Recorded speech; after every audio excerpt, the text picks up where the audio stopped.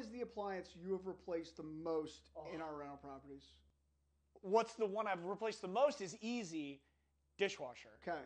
All right. So, what are the biggest complaints that people have about their dishwashers? I'm gonna say like it leaves streaks. It's not cleaning properly.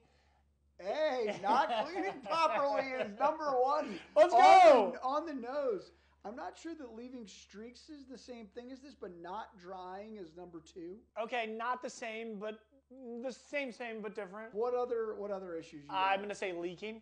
Leaking is Again, water. We should just Yes. call this the water is the devil list. Number number th- that's number four. Number three is actually water. Also, what other water issue have we had? like a sprayer, like the. not draining properly, Nah, yeah, it's because no one replaces the filter in their washing machine. or keeps it clean, or ever checks, or even knows what it is. People don't even know that washing machines